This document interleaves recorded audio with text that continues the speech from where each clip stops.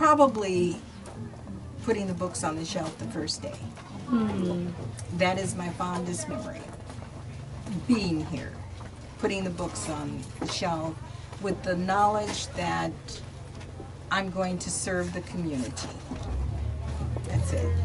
This is a work of mission for me. Um, it's not a profit point. It's a service to the community. And I am gratified and I'm satisfied that we have done that for 28 years.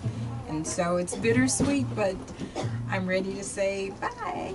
I've seen a number of kids in here today who are uh, three years old, five years old, and they're reading.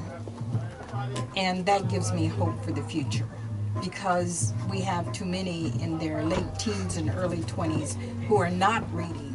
So when I saw the kids in the front, uh, one three-year-old who loves books held on tightly to a book, uh, knew the name, could read the name of the book. When I see the five-year-old who can turn the pages and read the story to me, it makes my heart warm. It gives me confidence in the future for Milwaukee. Um, I feel good. Importance of books and what we learn from them is something that unfortunately is taken for granted a little too much. Um, but having the option of reader's choice these last 28 years, I know for many of us with children, has allowed us to be able to show a more diverse reflection of themselves um, to our children. And for those of us who have that hunger for knowledge and information, it was always great to come in here and have a conversation with you to recommend what our next book should be um, uh, of choice, and for local authors to get the exposure that they needed uh, for the works that they that they've done.